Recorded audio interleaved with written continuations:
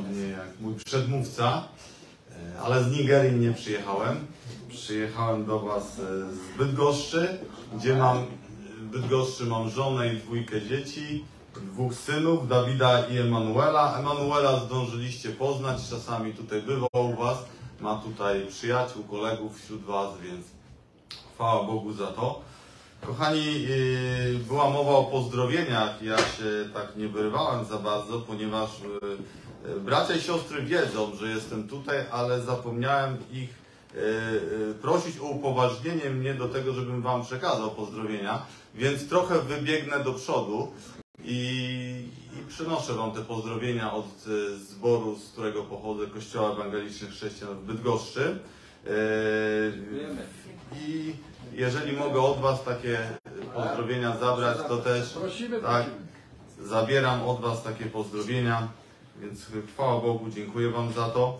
Wiecie, powiem Wam taką anegdotę, dwie rzeczy połączę, które dzisiaj zostały z tego miejsca powiedziane, zanim przejdę do sedna. E, Było powiedziane o tym, że jako Polacy lubimy narzekać i było powiedziane o pieniądzach. I ostatnio słyszałem taką anegdotę, że jeden człowiek zapytał innych ludzi, pytał, czy chcieliby od niego dostać milion dolarów. No i wszyscy tak. Chcemy milion dolarów, tak? Kto by nie chciał? Jakbym wam zaproponował dzisiaj milion dolarów? No myślę, że wielu z was by się zdecydowało. Ale gdybym dodał, że daję wam milion dolarów pod warunkiem jednym, że jutro się nie obudzicie, to nagle się okazuje, że wszyscy byście zrezygnowali. I pytanie, jakie warto sobie zadać, dlaczego? Czy to, że jutro wstaniesz rano jest dla ciebie więcej warte niż milion dolarów? Naprawdę? To mam drugie pytanie. To dlaczego jak wstajesz narzekasz? A tu mnie boli, nie? A do roboty muszę iść, tak? A nie ta pogoda, tak? I narzekamy, tak? No to dlaczego narzekamy? Skoro to, że się jutro obudzimy jest dla nas więcej warte niż milion dolarów. I myślę, że dużo bardziej warte niż jeszcze wiele innych milionów. Yy, Kochani, tak jak powiedział mój przedmówca też, yy, mówił o Kościele, o tym, że, że zderzył się z taką inną rzeczywistością niż w Polsce. Tak, my mamy w Polsce inną rzeczywistość, inne problemy i diabeł niestety też działa. Tak, yy, i potrafimy się pokłócić chociażby o kolor wykładziny, tak? Bo część zboru tego koloru nie będzie akceptowała, druga część tak.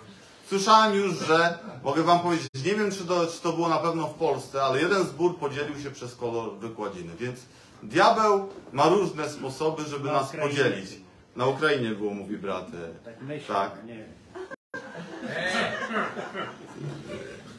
No więc. e, A ja dzisiaj chcę mówić o kościele i e, taką, postawię taką tezę, że kościół to najlepsza wspólnota. Kościół to najlepsza wspólnota. Jakie macie teraz myśli? Różne, prawda? Wam przechodzą, nie? Czy on ma rację? Tak. Czy ma rację ten brat, czy może się myli, tak? I wiecie co, jakiś czas temu, e, idąc ulicą, przeczytałem taki baner, taki duży baner, e, billboard i było napisane Spółdzielnia mieszkaniowa to najlepsza wspólnota. Wiecie, rozumiem, że ta reklama miała zachęcić członków e, spółdzielni mieszkaniowych, aby zniechęcić ich do stworzenia takich e, własnych wspólnot mieszkaniowych. Wiecie, bo to jest teraz, jest taka ustawa, że nie podoba nam się spółdzielnia, ja się skrzykuję z sąsiadami, mówimy, my mamy swoją, my nie chcemy tej spółdzielni, bo oni źle czynsze naliczają, źle sprzątają i tam wymieniamy, nie dbają o nas, to my sobie robimy swoją spółdzielnię mieszkaniową, swoją wspólnotę tak naprawdę. W związku z tym e, są ludzie, którzy nie są zadowoleni zawsze z obsługi spółdzielni dla nich spółdzielnia mieszkaniowa to najlepsza wspólnota, to to jest kłamstwo po prostu, tak? Ale są tacy, którzy są zadowoleni, więc e, czasami ten billboard może być prawdą w, nie, w życiu niektórych ludzi, a w niektórych, niektórzy ludzie w ogóle mówią tylko nie spółdzielnia, tak? My mamy swoją wspólnotę, ale z tego co wiem, to jak takie wspólnoty się później bliżej poznają, to też dochodzi do kolejnego rozpadu. I to niestety tak bywa w mentalności, że chcemy coś lepszego stworzyć, a nie udaje nam się to. Ale ważne pytanie, które musimy sobie, kochani, zadać, to a co z Kościołem? Czy to rzeczywiście najlepsza wspólnota? Musimy najpierw odpowiedzieć sobie na pytanie, czym jest Kościół, tak? I czym jest wspólnota. Więc Kościół pochodzi od takiego greckiego wyrazu eklezja, pewnie nieraz go tutaj słyszeliście z tego miejsca. Jest ciałem złożonym z ludzi zebranych nie z własnego wyboru, lecz z powodu Bożego wezwania. I zgromadza, zgromadzenie tych ludzi, tak? Yy, i ci ludzie się zgromadzają po to, żeby dzielić się swoimi spostrzeżeniami, żeby nie dzielić się swoimi spostrzeżeniami, lecz by słuchać głosu swojego Pana. Tak po to tutaj przychodzimy. Chcemy słuchać głosu Pana Jezusa, chociaż różnie z tym bywa. Czasami mówimy, że słuchamy tego głosu, ale jak Pan Jezus do nas przemawia, to udajemy, że nie słyszymy. Więc to jest różnie. Yy, a co ważne jeszcze podkreślić, to Kościół, zobaczcie, to są ludzie zebrani z różnych środowisk społecznych, o różnym statucie, w różnym wieku, tak? Co ważne, myślę, dla nas wszystkich, o różnych charakterach, tak? Yy, o, różnią się od siebie przeszłością, różnimy się, tak? Każdy z nas ma inną przeszłość, a co za tym idzie, przychodzimy do kościoła z różnymi bagażami na sobie. Tak. I wiecie, ja takie czasami mam powiedzenie, yy, że zależy kto, jak patrzę na brata czy siostrę, mówię, zależy kto z jakiego bagna wyszedł, tak? Jeżeli poznaję jego historię i widzę, jak, jakie trudy przeszła w życiu, to jakby inną skalę już mam dla tej osoby tak? Dla drugiej trochę, trochę inną. Nie wiem, czy rozumiecie, o co mi chodzi. Troszeczkę patrzę przez pryzmat przeszłości, staram się patrzeć na tego człowieka, na jego postępy duchowe, tak, że on na przykład wolniej wzrasta niż inni, ale znając jego przeszłość, ja go usprawiedliwiam i chcę z nim te brzemiona nosić, na przykład, bo miał bardzo trudną przeszłość, tak? Więc Ogólnie Kościół jest złożony ludzi zebranych nie z własnego wyboru, czyli musimy pamiętać, że zebrał was tu, kochani, Pan Jezus. To na Jego wezwanie tutaj przyszliście, tak? On nas zebrał we wspólnotę, a wspólnota według Wikipedii to typ zbiorowości oparty na silnych emocjonalnych więzach, a według Biblii, tak? Poza tym możemy dodać, że na wspólnych więzach, których podstawą jest miłość do Boga i do bliźnich. Tak? I można to tak podsumować, że Kościół to jedyna wspólnota na ziemi, którą powołał Pan Jezus. Osobiście, tak? On ją założył przez Ducha Świętego. On ją powołał do istnienia, e, zgromadzając uczniów, i sam fakt, że to zrobił Pan Jezus, kochani, czy sam fakt tego, że On to zrobił, powoduje, że jest to najlepsza wspólnota, bo została przez Niego założona? No i na to pytanie będziemy chcieli sobie odpowiedzieć dzisiaj. Zobaczmy do takiego pięknego obrazu Kościoła z Psalmu 133. Zobaczcie. Znacie, myślę, ten psalm, ale dzisiaj sobie troszeczkę go przybliżymy, o czym on tak naprawdę mówi. Psalm 133. Zachęcam, kto ma, żeby otworzył.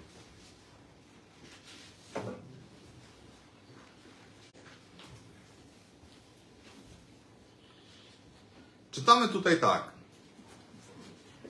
O jak dobrze i miło, gdy bracia w zgodzie mieszkają. Jest to jak cenny olejek na głowie, który spływa na brodę, na brodę Arona, sięgającą brzegu jego szaty. Jest to jak rosa Hermonu, która spada na góry Syjonu.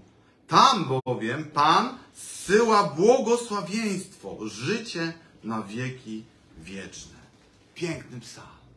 O jak dobrze i miło, gdy bracia w zgodzie mieszkają. Czyż nie są to piękne słowa, kochani? I najpierw chciałbym skupić się na słowie, co to oznacza dobrze. Tak? Bo w języku hebrajskim dobrze ma co najmniej cztery znaczenia. I pierwsze z tych znaczeń to jest dobrze, znaczy takie postępowanie jest moralnie właściwe, tak? I kiedy nie żyjemy w zgodzie, to to jest moralnie naganne, tak? Ludzie są zagubieni, gdy nie żyją w zgodzie ze sobą, tak? Brak jedności w kościele po, po, powstrzymuje Boże życie, tak? A rozłamy niszczą system immunologiczny z kościoła. Co mam na myśli? Że pojawiają w kościele się rany, tak? Kiedy dochodzi do rozłamów, to, to powstają rany. A co się dzieje w życiu, jak rana powstaje? Kto chce ją dopaść? Pasożyty, jakieś zarazki, tak? I trzeba co szybko? Czy są pielęgniarki, co trzeba szybko wtedy zaaplikować? Zastrzyk przeciwko tężcowi, tak? Żeby nie doszło do zakażenia. I kiedy powstaje rana w kościele, to tak samo Kościół daje przystęp też pasożytom duchowym. Daje przystęp diabłu, tak? Diabeł ma możliwość w rozłamie wykorzystać tą sytuację i zacząć atakować poprzez demony, tak? Które chcą taki rozłam wykorzystać dla swoich celów. I niestety często dopuszczamy do takich sytuacji, tak? I później ponosimy jako Kościół tego konsekwencje. Więc chciałbym krótko się zatrzymać właśnie na tym i pokazać, jak możemy żyć w jedności, aby zapobiec ranom. I zobaczcie do listu do Efezjan, czwartego rozdziału, pierwsze dwa wersety. List do Efezjan, czwarty rozdział, od 1 do 2 najpierw przeczytamy.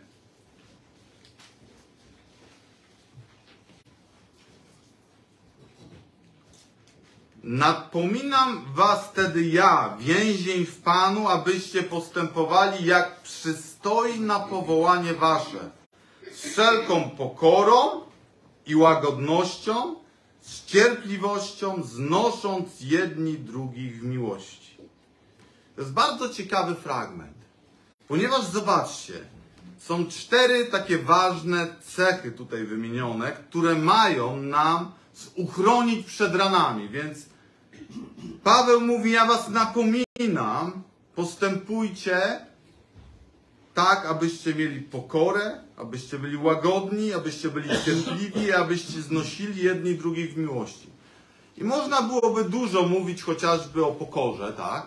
Więc pokora zapobiega ranom w kościele, kiedy uniżamy się jeden, jedni, Pan Jezus mówi, uważajcie jedni za drugich wyższych od siebie. Jesteście równi, jesteście braćmi i siostrami dla siebie. Pamiętajcie o tym, tak? I tego Chrystus oczekiwał od swoich naśladowców. I pierwszą lekcję, nie wiem czy wiecie, jaką udzielił Pan Jezus swoim uczniom, było taka. Weźcie na siebie moje jarzmo, uczcie się ode mnie, że jestem cichy i pokornego serca, a znajdziecie ukojenie dla dusz waszych. Więc Pan Jezus pokazał, od czego ma się ich służba zacząć. I nie wiem, czy kiedykolwiek się zastanawialiście nad jednym takim bardzo znanym fragmentem, który mówi o pokorze. Bóg pokornym łaskę daje. Pamiętacie ten werset? Czyli co? Pokora, zobaczcie, otwiera drzwi dla Bożej łaski. Czyli jeżeli nie mam w życiu Bożej łaski, jeżeli jej nie doświadczam, to powinienem zastanowić się, czy mam pokorne serce. Bo może zamknąłem Bogu drzwi dla przepływu Bożej łaski, bo Bóg pokornym łaskę daje. I to mówi w Starym Przymierzu i w Nowym Przymierzu również. Przeczytacie ten fragment, chyba bodajże Piotr się, apostoł, na niego powołuje. Więc to jest niesamowicie ważne, żeby być pokornymi, żeby uważać jedni drugich za wyższych od siebie, tak?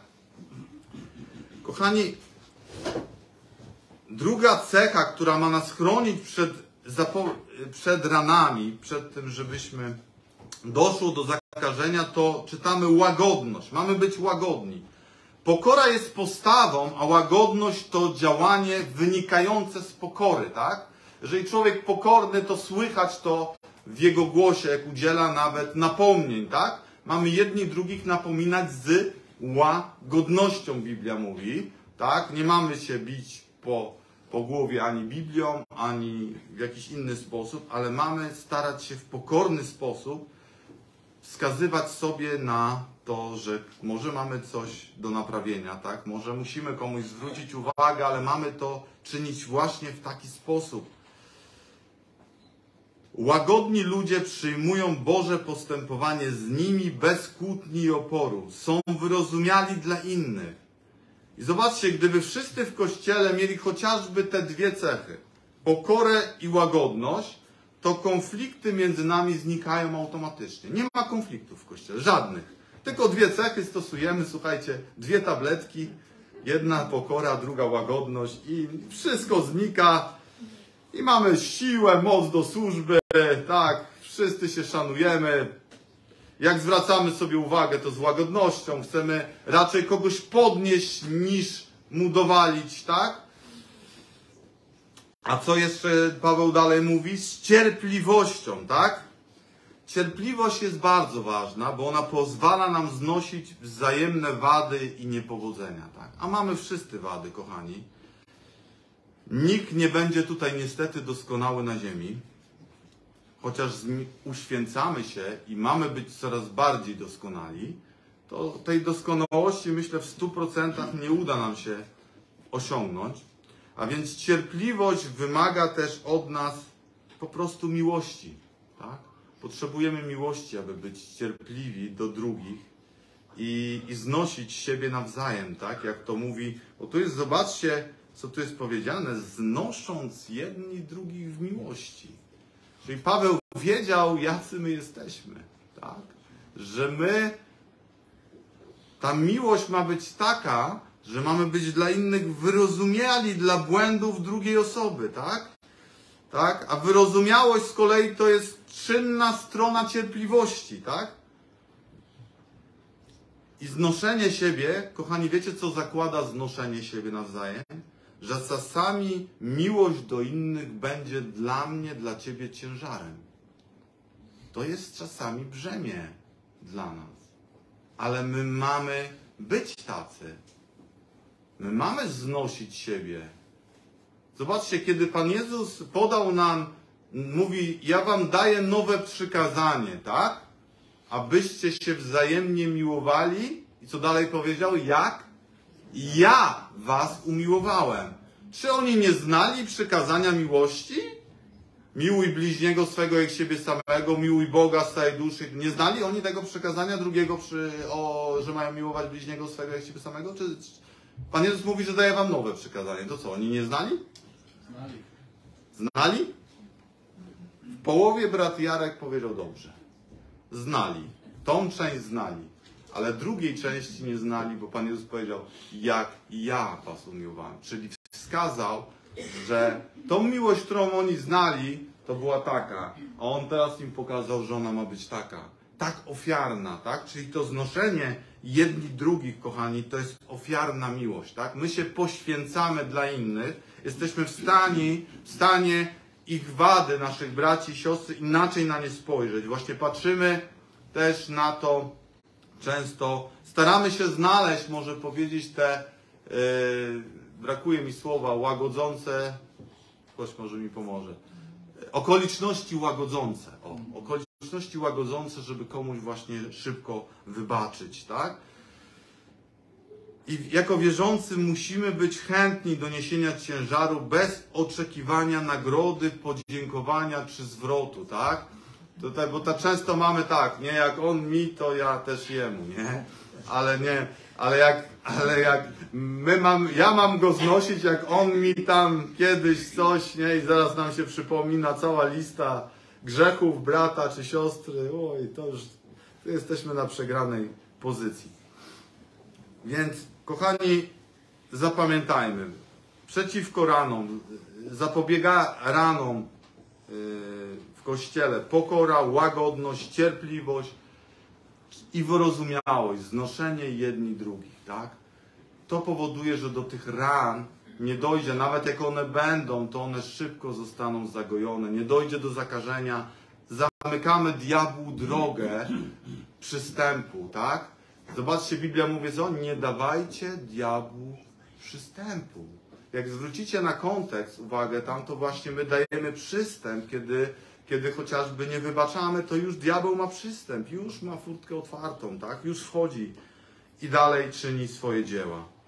Więc teraz wracając do tego słowa e, dobrze, co to znaczy dobrze?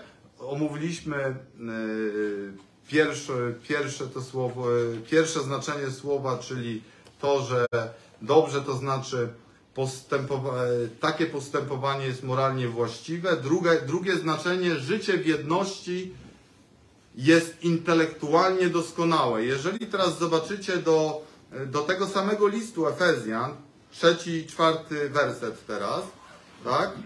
Dlaczego tak ważna jest jedność i co powinno powodować tą jedność jak my mamy tą jedność traktować, to czytamy tutaj trzeci i czwarty. Starając się zachować jedność ducha w spójni pokoju.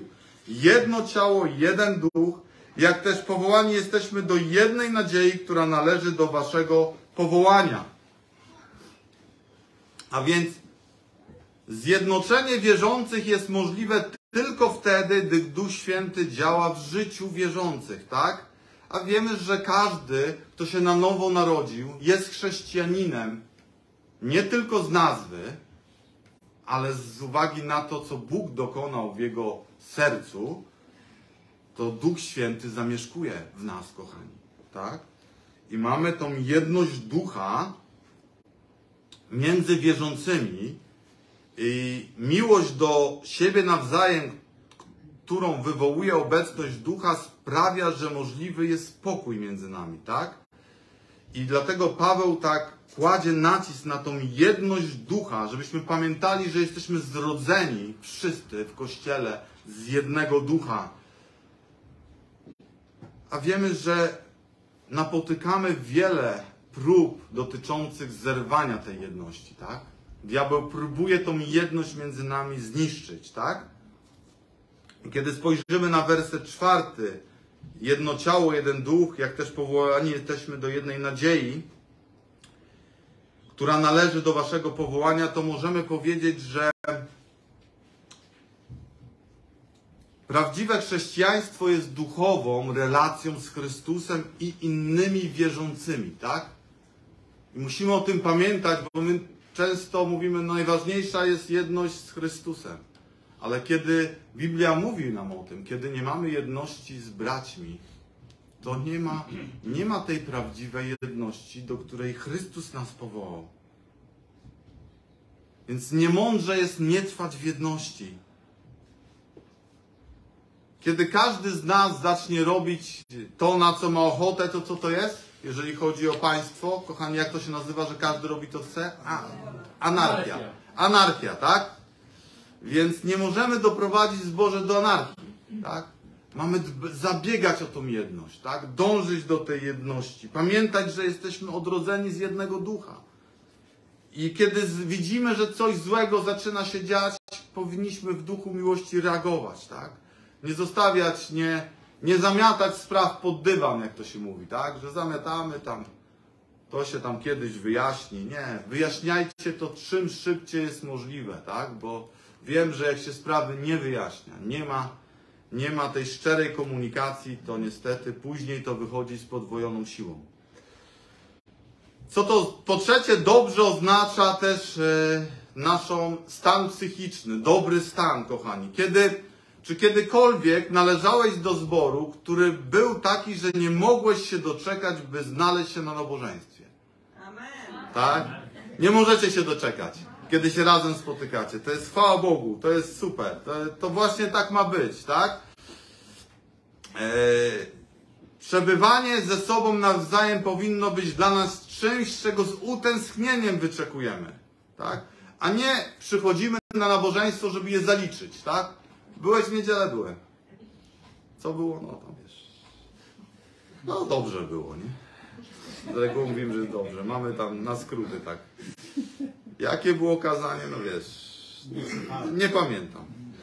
E, no, prawda jest taka, że z kazania się mało zapamiętuje i to jest rzeczywiście, ja też mam problem z pamięcią i, i zastanawiam się, wiem, że jak kazanie z ducha, to coś w nas Bóg zostawia. Tak? To, co każdy z nas potrzebuje, on działa tak, jak ja uważam, tak jak dzisiaj. Mówiąc do Was, wierzę, że w każdym sercu coś Bóg zostawi, tak? To, co ma dla tego serca konkretnego, tak? Ja tego nie wiem, więc y, co ma dla Was i ja zostałem, można powiedzieć, przekonany, żeby to mówić dzisiaj do Was, więc staram się być tylko posłuszny Bogu. Więc, kochani, każdy z nas jest cenną częścią wspólnoty i to, że jesteśmy różni, to właśnie jest piękne. To jest piękne, że jesteśmy różni, że jest między nami różnorodność, tak? Że mamy różne charaktery i mamy też różne dary. Biblia mówi, że Bóg różnie nas obdarzył, tak? Więc przez Kościół co mówi? Apostoł Paweł, Bóg objawia różnorodną mądrość swoją, tak? Bożą. I to jest piękne, kiedy właściwe, właściwie rozumiemy, kim, czym jako Kościół jesteśmy. Musimy pamiętać, że my jesteśmy tym Chrystusem, Jego ciałem na ziemi. Tak, jesteśmy Jego ustami, jesteśmy Jego rękoma, jesteśmy Jego nogami. Tak? On nas używa, my robimy to, co by robił Chrystus. Dlatego tak ważne jest słuchanie na nabożeństwie Chrystusa. Ja wierzę, że przez Ducha Świętego Bóg do nas przemawia na nabożeństwach, tylko my albo czasami mówimy, że to jest może zbyt charyzmatyczne podchodzenie do tego, tak? Jak to. A z, a z drugiej strony my wiemy, że przecież przychodzimy tutaj ze względu na Chrystusa że przychodzimy nie tyle słuchać kaznodziei, nie tyle słuchać nawzajem swoich modlitw, tak? Ale co Chrystus chce przez te modlitwy powiedzieć?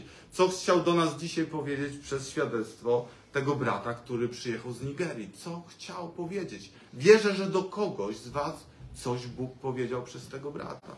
I jego tutaj dzisiaj pobyt był dla kogoś z Was najważniejszy, bo Bóg do Ciebie konkretnie przemówił. Jeszcze jedna rzecz, słowo dobrze znaczy i tutaj taka ciekawa, tak dziwnie to zabrzmi, ale to słowo ponoć tak też to zawiera. Jest to korzystne ekonomicznie, słuchajcie. Dobrze. I nie chodzi o pieniądze. Jedność powoduje, że rodzina staje się zgodna z prawem w Królestwie Bożym. Diabeł wie o tym, dlatego stara się zniszczyć jedność ciała. Tak?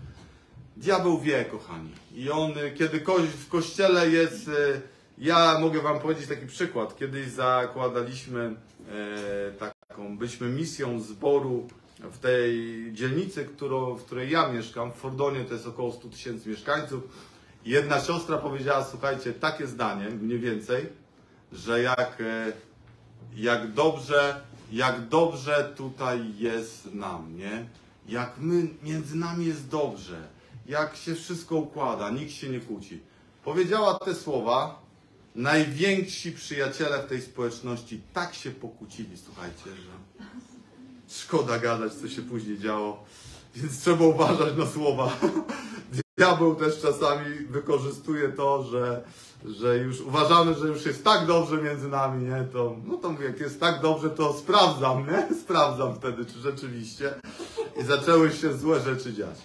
Więc yy, kochani, ceńmy, ceńmy tą jedność, którą mamy w ciele Chrystusa i pamiętajmy, że jesteśmy Jego ciałem tutaj na ziemi. Wiecie, takie zdanie mi się spodobało, ktoś powiedział, że tak, yy, żebym teraz nie dobrze to przekazał. Yy, że jakby chodziło o to, że jesteśmy Ewangelią, tak? A czasami o niej głosimy. Czasami o niej mówimy. O, że my jesteśmy Ewangelią, ale czasami mówimy o Ewangelii.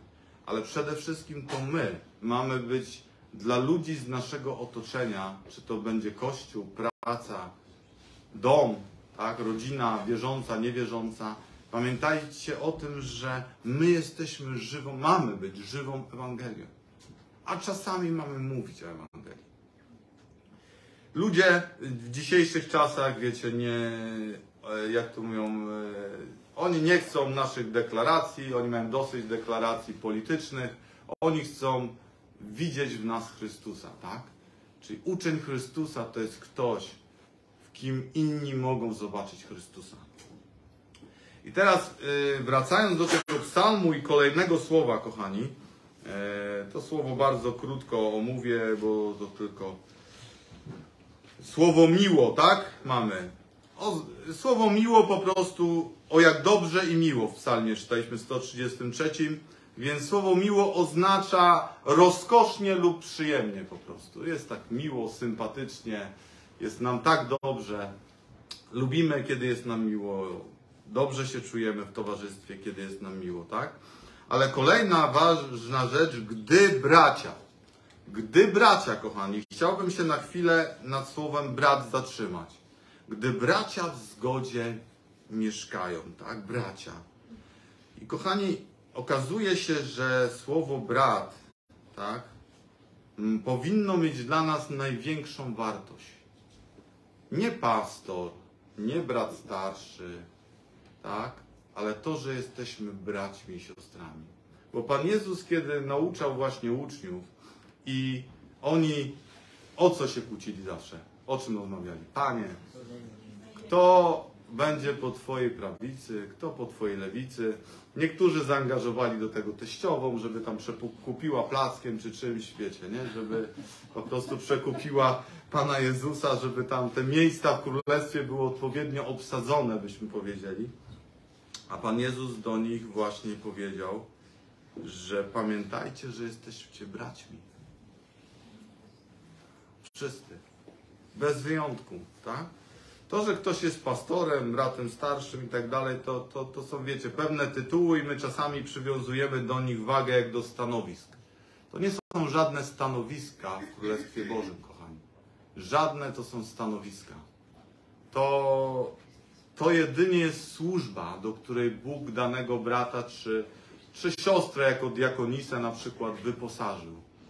Tak? A my czasami podchodzimy trochę po świecku i mówimy, o, ja chcę być tam pastorem, pastorem pomocniczym, czyś, to, to nie jest ten kierunek. Jeżeli jest taki kierunek myślenia, to musimy go szybko zmienić. Jesteśmy braćmi i siostrami dla siebie i to jest najważniejsze, kochani.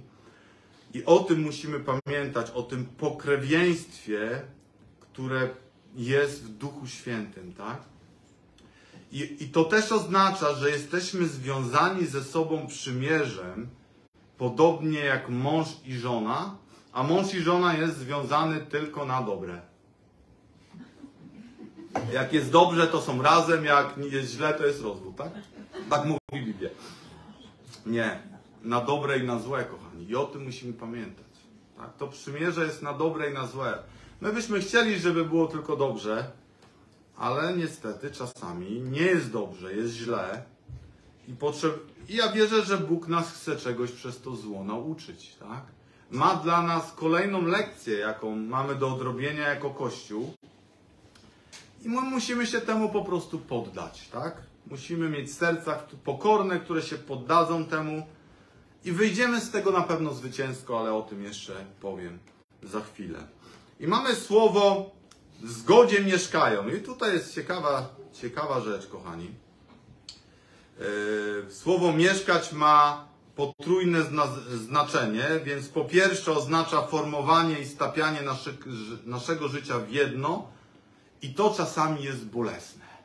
Wiecie?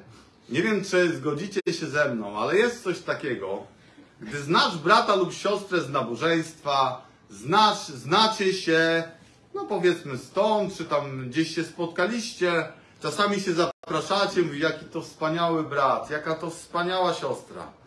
To ja mam taki test. Zamieszkajcie ze sobą na miesiąc razem. O, perspektywa spojrzenia się zmienia. I wtedy mówimy, o, ja nie wiedziałam, że on to patrz. Teraz jak pomieszkaliśmy razem, to pewne rzeczy wyszły. Patrz, a on głos unosi. A taki zawsze spokojny, nie? Taki miły. Tak. Więc jak zaczynamy mieszkać razem, to dopiero poznajemy swoje wady. Tak? tak tylko widzimy zalety. I kiedy mieszkacie razem tu w zborze, to ja mówię tak jak, e, e, tak jak kochani, przychodzicie pierwszy raz do zboru. Tak? Kto, był, kto każdy z Was tu kiedyś pierwszy raz przyszedł, no to co? Widział aurę, olał wszystkich nad głowami, płonące ognie. Święci ludzie. Gdzie ja jestem? Ja tu nie pasuję, ja taki grzesznik, a tu sami święci. Tak? Mija miesiąc, pół roku, rok, nieraz szybciej, tak? I powiesz, oj, jednak oni tacy święci nie są, patrz. A ja myślałem, że są. I mamy taki zawód, nie? W sercu mówimy, jaj, czy to jest Kościół Pana Jezusa? Tyle problemów, tyle różnych rzeczy. I kochani, co to oznacza właśnie w praktyce to formowanie nas w jedno? To to, że, że chcemy mieć ze sobą głębokie relacje, a nie tylko powierzchowne. Bo dzisiejszy świat zachęca nas. Żyjemy nawet, nie wiem czy jest tak w Nigerii, tam bracie Sebastianie, ale w Polsce to myślę, że i myślę, że w Stanach już szczególnie, bo z tego co wiem, to jak e, to mi tutaj jest brat, który tam czasami e, bywa, Mateusz, to wiem, że co u Ciebie słychać, to jak odpowiada się, powiedz Mateusz? Jak co u Ciebie Jak w słychać? Polsce, dobrze. Dobrze. Ale tam po, po oni mają to powiedzenie, nie? Po angielsku. E, I'm fine, tak? Tak. Wszystko ok, tak, wszystko w porządku. Chociaż się wali życie, ale jest fajnie. Wszystko jest dobrze, słuchajcie, nie? Zawsze jest wszystko dobrze. I my też. Co u ciebie? Dobrze, nie? No wszystko dobrze jest, nie? I tak chcemy zachować tą bezpieczną odległość jedni od drugich, tak? Żeby ktoś za bardzo nie wszedł w moje życie. A nóż mi zacznie zadawać trudne pytania. A to jest moje podwórko i wara, żeby ktoś bez pytania chciał na nie wejść. Nie? I tą bezpieczną odległość chcemy właśnie zatrzy- zatrzymać, tak? Czasami mówimy, to jest moje prywatne życie, nikt nie ma prawa mnie o to py- pytać. Czy to jest prawda, kochanie, w Bożym Kościele? Czy to jest prawda, że nie mamy? Ja oddzielmy wścibskie pytania, tak? Tak, bo czasami ktoś rzeczywiście chce się dowiedzieć rzeczy, które no naprawdę są takie, których nie musimy komuś mówić, tak? Ale, ale mówię o takich szczerych rozmowach między nami, tak? Yy, ja uważam, że we wspólnocie mamy prawo zadawać sobie pytania i czasami są to trudne pytania, po to właśnie, aby pomóc sobie z jakąś słabością, z jakimś grzechem, żebyśmy jedni drugich brzemiona mogli nosić, to musi być między nami szczerość. My musimy być otwarci, tylko wiecie, my się boimy czasami być otwarci. Wiecie dlaczego? Ponieważ nie, nie wierzymy, że inni są godni zaufania że jak wyjdziemy, jak wyjdziemy z tą otwartością, to nagle się okazuje, że pół zboru już wszystko wie. I tu jest problem, nie? A my temu bratu w zaufaniu to powiedzieliśmy, prosiliśmy, żeby się modlił, a tu wszyscy o tym wiedzą. I, i jest wtedy problem, tak? I jak wtedy się dzielić? Jak być ze sobą szczerymi, kiedy nie mamy do siebie takiego zaufania, tak? Nie, nie potrafimy zachować tajemnicy jedni drugich, tak? Bo są rzeczy, które naprawdę nie musimy ani starszym mówić, tak? Jak ktoś się z czymś zmaga. Zobaczcie, nawet jeżeli ja się poróżnię z bratem, to co Biblia mówi? Czy mam zabrać teraz starszego, pastora ze sobą, żeby się z nim pojednać? Nie. Co Biblia mówi na co, co jasno Pan Jezus powiedział? Sam na sam. Właśnie. Ty masz to załatwić sam na sam. Czyli ja mam wyjść z inicjatywą, żeby się pojednać z tym bratem czy z tą siostrą. Angażować innych mam wtedy, kiedy jest naprawdę bardzo trudna sytuacja i nie można nic zrobić już. Wykorzystałem sam wszystkie możliwości. Modliłem się, pościłem za tego brata i wiecie, nic. Jeżeli chodzi o szczerość, zobaczcie, starsze siostry mają pouczać młodsze, tak? Jest w Biblii napisane, tak? Jak mają wychowywać dzieci, tak? A nie mają opowiadać wszystkim w koło, jak młoda siostra nie może sobie z czymś poradzić, na przykład, tak? Też mają zachować pewne tajemnice, tak? Żeby młode siostry chciały czerpać z doświadczeń starszych sióstr, to one też muszą być powściągliwe, tak? Muszą na wodzy ten język trzymać, tak? Jeżeli nawet coś zobaczą, tak, coś ta siostra może źle zrobi. Więc kiedyś usłyszałem e, też e, coś takiego, kochani. A to za chwilę dojdzie, doj- dojdę do tego może. Druga rzecz, jeżeli chodzi o, o to mieszkanie razem, drugie znaczenie to jest powinniśmy dążyć do otwartości i szczerości, tak? Właśnie nie podoba mi się to, co się dzieje w tym zborze. Mi się to nie podoba po prostu. Czyli co? Czyli składam na następnym nabożeństwie rezygnację z członkostwa. Mi się to nie podoba, tak? To jest wyjście z sytuacji? No nie. Uklęknij i powiedz o tym Bogu, tak? Kiedy łączymy się w przymierzu, to nawet jest napisane, y, jest takie powiedzenie, dopóki śmierć nas nie rozłączy, nie? I, I kochani, to czego musimy się nauczyć, to rozmawiajmy z ludźmi o Bogu, tak? Zapamiętajcie to. Rozmawiajmy z ludźmi o Bogu, a z Bogiem o ludziach. A my często wolimy rozmawiać z ludźmi o innych ludziach, tak? I to jest nasz błąd, tak? Nie wiem, czy to tylko nasza polska taka przywara, ale niestety jest tak, że lubimy tak trochę poplotkować. Niby to robimy czasami w takiej dobrej wierze i tak dalej. I tu chcę ważną rzecz powiedzieć.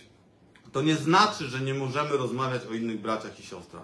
Tylko pytanie, jakie motywacje nam przyświecają.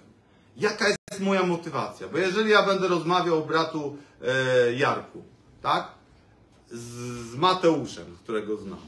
Ale będziemy rozmawiać, jak Jarkowi w czymś pomóc. Kto z nas może powinien do niego pójść, bo ja go znam, Mateusz go zna, coś i, i my mamy na, na celu dobro Jarka, to my możemy o nim rozmawiać. Bo my nie, nie, nie, nie rozmawiamy, żeby go oplotkować, tylko po to, żeby mu pomóc. Bo ja widzę jakiś problem i Mateusz na przykład widzi ten sam problem. No to rozmawiajmy. Ale mówię, motywację. Co, co chcemy osiągnąć przez tą rozmowę, nie? Czy chcemy temu bratu, wiecie, tam tak delikatnie dać coś do zrozumienia, tak? A i o tym, żeby inni o tym mówili, tak? Kochani, pamiętajmy, że każdy ma z nas zleconą pracę do wykonania przez Boga i nikt nie może tego za nas zrobić, tak?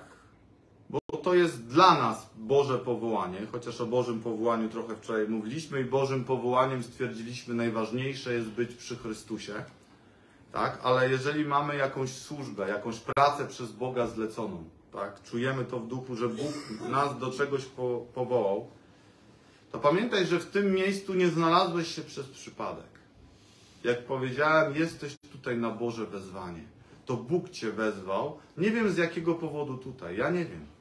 Ale wierzę, że Bóg Ci jest w stanie to objawić, kiedy będziesz w bliskiej relacji z Nim. Już zmierzam, kochani, do końca, chociaż jeszcze krótko. e, Trzecie, trzecie znaczenie słowa mieszkać to wskazuje na monogamię, na jednego męża, jedną żonę. Bóg powołuje braci i siostry, by stopili swoje życie, uformowali je w jedno i poślubili siebie nawzajem. To powoduje, że w kościele, w którym jest jedność, jest prawdziwe życie, a w podzielonym kościele jest śmierć. Tak? Więc jeżeli chcemy życia w kościele, to musimy pielęgnować jedność. I podsumowanie, kochani, tego tematu. Lepszej wspólnoty niż Kościół nie ma, kochani, na świecie. Bym powiedział pod słońcem, tak jak kaznodzieja powiedział kiedyś, że pod słońcem, tak? Nie ma. Jednak składa się ona z niedoskonałych członków, którzy grzeszą. Jednak nie możemy traktować tego jako wymówki. Musimy walczyć o to, żeby Kościół Jezusa Chrystusa był tym, do czego został powołany. I pamiętajcie, że świat to jest pole bitwy, tak? To pole bitwy. I to, co musimy zrozumieć, kiedyś taki obraz yy, yy, słyszałem, że Kościół to nie statek wycieczkowy, kochani. A jaki statek? Wojenny. To statek wojenny, tak? I każdy marynarz jest niezbędny. Czy widzieliście statek wojenny, że marynarz leży na tym, jak to się nazywa, kojo, tak? Na kojo i on sobie na tym kojo płynie. On nie ma nic do roboty na tym statku. Nawet nie musi zmiatać nic, po prostu obsługują go, tak? I my chcemy być właśnie w kościele, często na statku wycieczkowym, obsługiwani. O, jaka muzyka, tak? Jakie dobra kawa po nabożeństwie, a jakie siostry dobre ciasto robią. A ten brat to może mówić kazania, ten drugi tak średnio. Chcemy być dobrze obsłużeni. A ja chcę Ci powiedzieć, że Bóg może przemówić do Ciebie przez brata, którego bardzo nie lubisz. I, I który może nie jest w ogóle znany w kościele, nie jest tutaj widziany za kazalnicą. Może Bóg chce właśnie przez taką osobę do Ciebie przemówić. I o tym pamiętajmy, że jesteśmy Bożym Kościołem, kochani. I to, co chcę powiedzieć też, taki, mieliśmy rozmowę z takim pastorem ostatnio u nas, który zakłada zbór w naszym mieście. I on, wiecie, bardzo dojrzałe słowo powiedział, które mi zapadnie chyba do końca życia. Dość młody pastor, jak na pastora, dość młody człowiek. E, I powiedział tak, bo ten zbór dopiero się formułuje, wiecie, jak nowy zbór, to tam z innych zborów przechodzą ludzie, wiecie, jak, bo to jest lepsze, coś nowego, tam, wiecie, jak to my Polacy, tam to będzie super, wszystko od początku, nie ma problemów, nie? A on do nas powiedział, bracia, ale ja wiem, że miesiąc miodowy się kończy. Rozumiecie? Miesiąc miodowy się kończy u nas w zborze. Nie wiem, czy już miał jakieś symptomy, ale wiecie, pamiętajcie, że jak przejdziecie do, yy, do innej doskonałej wspólnoty, znajdziecie swoje miejsce, to kiedy wy tam wejdziecie, ona przestanie być doskonała. Niestety, trzeba mieć tego świadomość. Więc ten świat to pole bitwy, a my mamy być zwycięzcami, kochani. Tak? Nasz Pan zwyciężył, tak? Powiedział, zwycięzcy pozwolę zasiąść ze mną na tronie. Tak? Zwycięzcy, kochani. O tym pamiętajmy, jak to jest ważne, żeby zwyciężać, żeby, żeby nie poddać się y, w burzeniu tej jedności.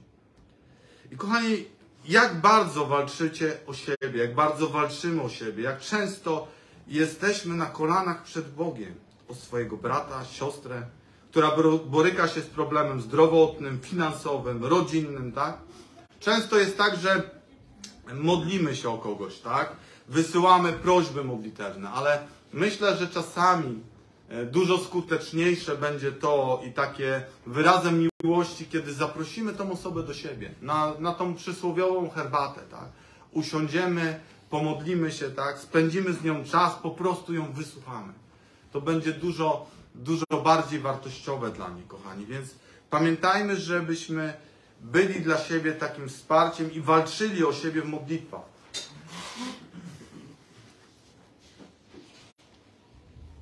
Więc konflikty i problemy, kochani, będą zawsze. Nie mam dla, dla Was takiej super nowiny, dobrej nowiny w tym temacie. Będą zawsze. Jedne się skończą, przyjdą drugie. Ja kiedyś jako młody chrześcijanin to miałem takie, wiecie, e, tak sobie myślałem po ludzku że mówię, jak ten problem się skończy, Boże, to jej, to będzie super. A teraz, teraz niestety wiem, że jak ten się skończy, przyjdzie następny. Yy, więc nie wiem, czy lepiej nie, żeby ten potrwał dłużej. Wiecie o co chodzi? Bo jak tamten przyjdzie gorszy, to ja wolę już trwać w tym, nie?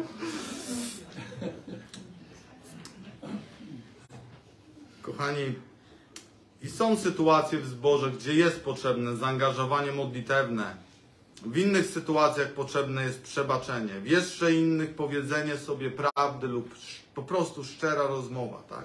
Ale musimy nauczyć się rozwiązywać problemy po Bożemu, czyli mając na uwadze to, co do nas mówi Pan w tej księdze, jak te problemy mamy rozwiązywać.